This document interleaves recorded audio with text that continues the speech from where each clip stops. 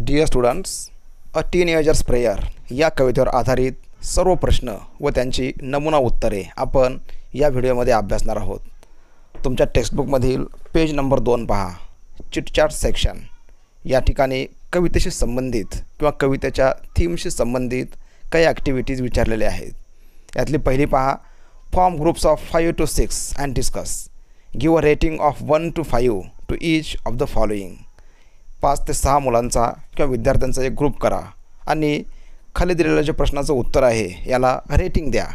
One to five when you have to take important decisions what do you generally do जेव्हा तुम्हाला काही महत्त्वाचे निर्णय घ्यायचे असतात अशा प्रसंगी तुम्ही काय करता? हा तुम्हाला विचारलेला प्रश्न आहे.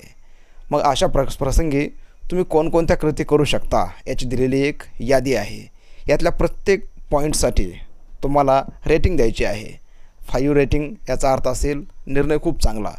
यानंतर उतरत्या क्रमाने त्यांचं महत्त्व कमी कमी होत जाईल. कन्सल्ट पॅरेंट्स ऑर एल्डर्स यासाठी मी देईन rating five five stars contact friends for advice I may give four stars pray to God for guidance again four stars think deeply in silence I give five stars ask your teacher for help okay four stars toss a coin to decide i give only one star now in this way your rating may different from rating given by me या ठिकाणी तुम्ही वेगळ्या प्रकारचे रेटिंगसुद्धा देऊ शकता कारण ते तुमचं मत आहे नंतर पुढची ॲक्टिव्हिटी पहा In poetry, very often there are lines in which the poet seems to talk directly to an absent person, an abstract idea or thing or object. Such a tactic or device used by the poet is the figure of speech apostrophe. बऱ्याच वेळा पोएट्रीमध्ये एखाद्या व्यक्तीला काहीतरी उद्देशून बोललेलं असतं परंतु ती व्यक्ती तुमच्यासमोर नसते ती व्यक्ती गैरहजर असते किंवा ती व्यक्ती मृत असते किंवा एखाद्या लाईफलेस थिंग्स किंवा ऑब्जेक्ट यांना उद्देशून काहीतरी एखादं विधान केलेलं असतं. हे अशा प्रकारचं जिथं कुठं वर्णन असेल त्या ठिकाणी अलंकार असतो apostrophe for example twinkle twinkle little star how I wonder what you are now here little star is addressed नंतर पहा death where is the sting O क्यो man I wish I could live with you मग या ठिकाणी पहा star death क्योमॅन यांना उद्देशून ही लिहिलेली वाक्य आहेत. यांना म्हणतो आपण example of apostrophe now complete the following creating examples of apostrophe of your own या ठिकाणी तुम्हाला ही दिलेली अर्धवट वाक्य पूर्ण करायची आहेत परंतु ही वाक्य म्हणजे एक्झाम्पल ऑफ अपॉस्ट्रॉफी झालं पाहिजे. O life how wonderful you are. इथं पहा life is addressed life is an abstract idea or abstract thing नंतर पहा dear God please guide me इथं पहा God is addressed books you are my real friends इथं पुस्तकांना उद्देशून हे वाक्य आहे. Exams I wish to quit O you beautiful sky how far you are अशा प्रकारे या ठिकाणी पहा life God books exams sky अशा गोष्टींना उद्देशून लिहिलेली वाक्य आहेत. आणि सगळीच वाक्ये ही उदाहरणं आहेत आपास्ट्राफी या अलंकाराची. याशिवाय पंक्च्युएशन मार्क किंवा विरामचिन्हामध्ये सुद्धा आपास्ट्राफी मार्क वापरलं जातं. याचा बऱ्याच वेळा वापर केला जातो पहा. To show possession or ownership मालकी दाखवण्यासाठी आपास्ट्राफी मार्क वापरलं जातं. मोहन्स बुक या ठिकाणी अपॉस्ट्रॉफी एस आहे. आणि हे तुम्हाला दाखवतो ownership of book again apostrophe mark is used to indicate missing letters बऱ्याच वेळा एखाद्या शब्दा एखाद्या एक्सप्रेशनमधील मिसिंग लेटर दाखवण्यासाठी सुद्धा अपॉस्ट्रॉफी मार्क वापरतात. जसे की आय ॲम या ठिकाणी आय ॲम हे जे मिसिंग अ आहे यासाठी अपॉस्ट्रॉफी मार्क वापरलेला आहे. दे ह्याव या ठिकाणी सुद्धा एच ए यासाठी अपॉस्ट्रॉफी मार्क वापरलेला आहे. नाव in this way apostrophe as a figure of speech हे पण आहे आणि apostrophe as a punctuation mark हे दोन्ही तुम्ही इथं लक्षात ठेवलं पाहिजे. यानंतर पेज नंबर तीनवरती तुम्हाला दिलेली कंप्लीट पोयम आहे. कवितेवरील प्रश्नोत्तर सोडवण्यापूर्वी तुम्ही या लाईन्स अगदी काळजीपूर्वक वाचल्या पाहिजेत. या ठिकाणी पहा पेज नंबर तीनमध्ये पोयमच्या बाजूलाच काही दिलेले प्रश्न आहेत. ते प्रश्न पहा. What is the age group of the speaker in the poem इथं आपण सांगू शकतो the speaker in the poem is a teenager from thirteen to nineteen years what decisions does the speaker have to take इथं आपण उत्तर सांगू शकतो. The speaker wants to take the right decisions what does each new day fetch Each new day features new beginnings how should one react to temptation इथं आपण सांगू शकतो at the moment of temptation one should just say no what effect does the speaker wish to see in himself at the end of his teens? See the answer. At the end of his teens, the speaker wants to see that he has lived his life very best way. In what condition does the poet wish to maintain his body? The poet wishes to maintain his body clean and fit for future life. Whose company does the poet wish for in the walk of life? The poet wishes the company of God in the walk of life. अशा प्रकारे ही संपूर्ण कविता वाचून तुम्ही प्रश्नांची उत्तरे अशी सांगू शकता. यानंतर पेज नंबर चार पहा. English workshop read the poem at first carefully and then easily you may write answers of these questions choose the correct alternatives and complete the given sentences यातला पहिला क्वेश्चन पहा. According to the poet dash are brought by each new day answer is new beginnings are brought we must decide to take the road which leads to great success. The poet prays to the Lord to help him stand for what is right. The poet wants to see that his teenage years have been the best years of his life. अशा प्रकारे कवितेची theme किंवा मध्यवर्ती कल्पना लक्षात आल्यानंतर तुम्ही हे उत्तरं सहज सांगू शकता. कवितेमध्ये एकूण पाच स्टांजा आहेत. आता विचारला प्रश्न पहा. Find and write the pairs of rhyming words from the poem आणि प्रत्येक स्टांजामध्ये एक रायमिंग पेअर आलेलं आहे. ते पहा. Make take success distress see me way day again see आणि मी अशा प्रकारे आलेले हे रायमिंग पेयर्स आहेत. What is the rhyme scheme of the poem choose the correct one from the following options कवितेची रायमिंग स्कीम कोणती आहे? असं इथं विचारलेला प्रश्न आहे. राईम स्कीम ही नेहमी सुरुवात होते एपासून उदाहरणासाठी स्टांजा नंबर वन पहा. या ठिकाणी शेवटचा शब्द आहे पहिल्या लाईनमधील बिगिनिंग्ज इथं आपण ए म्हणूया. नंतर मेक मेक आणि रायमिंग्स यांची सॉरी मेक आणि बिगिनिंग्स याची राईम जुळत नाही. तेव्हा मेकसाठी आपण बी लिहितो. नंतर चूज आणि मेक राईम जुळत नाही किंवा चूज आणि बिगिनिंग्स राईम जुळत नाही. म्हणून इथं म्हणतो आपण नवीन शब्द आहे सी नंतर टेक आणि चूज राईम जुळत नाही.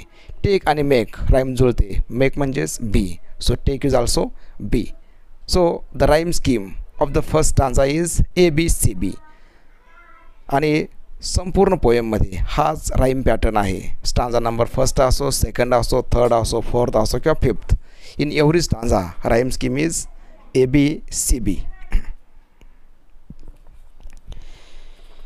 यानंतर पहा.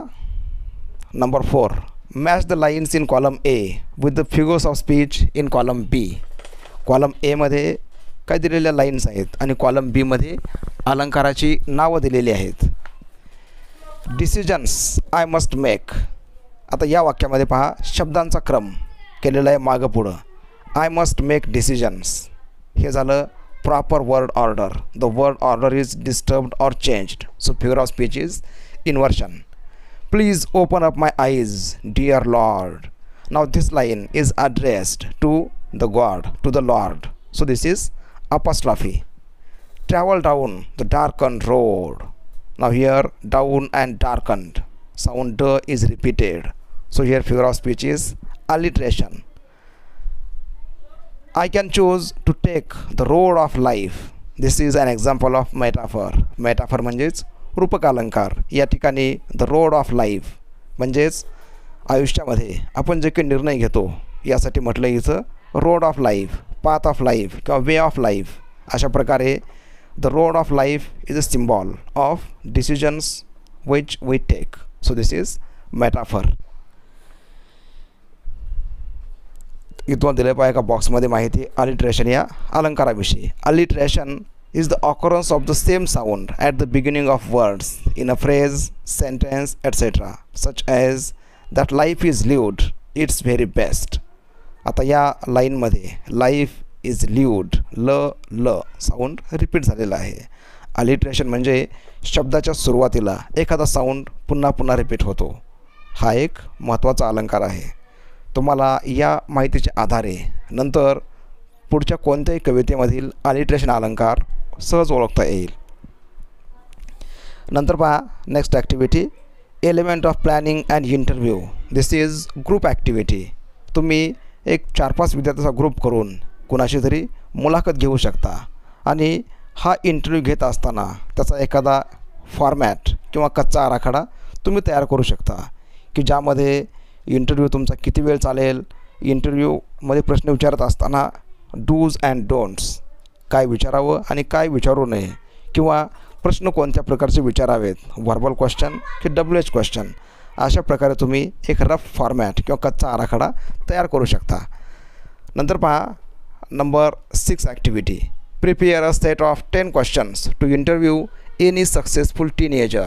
You may use the following guidelines या ठिकाणी तुम्हाला म्हटलं पहा की एखादा यशस्वी अशा प्रकारचा जर एखादा टीनेजर एखादा किशोरवयीन मुलगा किंवा मुलगी जर असेल तर त्याचा किंवा तिची मुलाखत तुम्ही घेऊ शकता. साधारणतः दहा प्रश्न तुम्ही इथं विचारले पाहिजेत.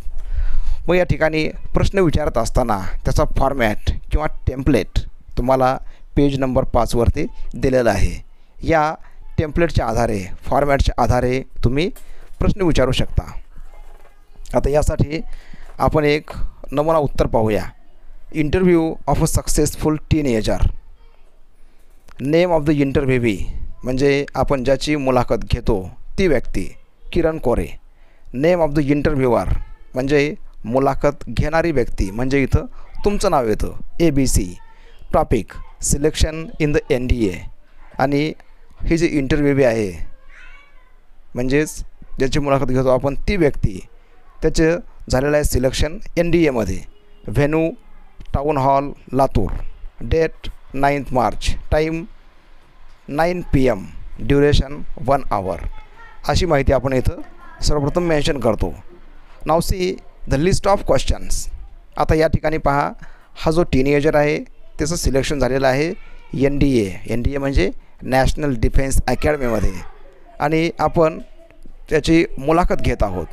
Now see the questions where did you spend your childhood days what are your educational qualifications why qualifications you decide to join N D A did your family support you how who are your idols where did you receive the training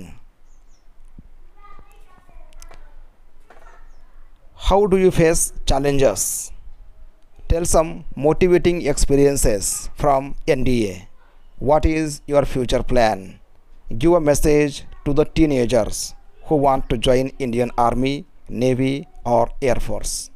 Thank you अशा प्रकारचे प्रश्न इथून तुम्ही विचारू शकाल काही प्रश्न असतील एस नो टाईप काही प्रश्न असतील डब्ल्यू एस टाईप यानंतर नंबर सेवन पहा. Read the poem write and appreciation of the poem in about twelve to fifteen sentences with the help of the following points दिलेल्या पॉईंट्सच्या आधारे तुम्हाला कवितेचं अप्रिशिएशन म्हणजेच रसग्रहण लिहायचं आहे.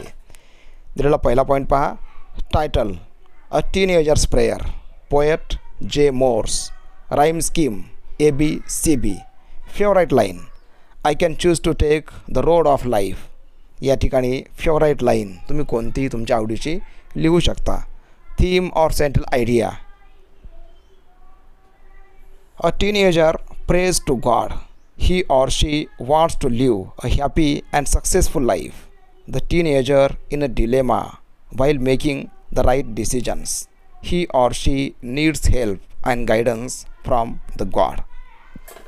Figures of speech कवितेमध्ये आलेले अलंकार apostrophe inversion alliteration etcetera special features of the poem इथं आपण सांगू शकतो a teenager's prayer is a very poem written in simple language.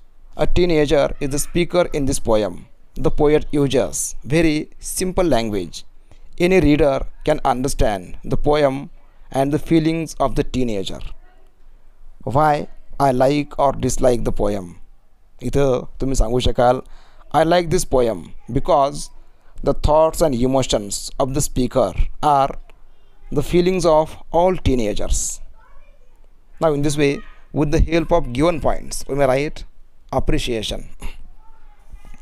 नंतर पहा शेवटची activity Compose a short prayer in English asking God to guide you in your teenage years later you can even try to make the lines rhyme to give it a poetic form. तुम्ही एक teenager आहात आणि ईश्वराला प्रार्थना करणारं एखादं छोटंसं गीत किंवा एखादी प्रार्थना तुम्ही लिहा. असा हा प्रश्न आहे. याचं एक नमुना उत्तर पहा. My prayer dear God I am an adolescent I have a lot of dreams but I don't have many schemes good deeds will make me great O God I need your help अशा प्रकारच्या लाईन्स तुम्ही इथं compose करून लिहू शकता dear students thank you for watching have a nice day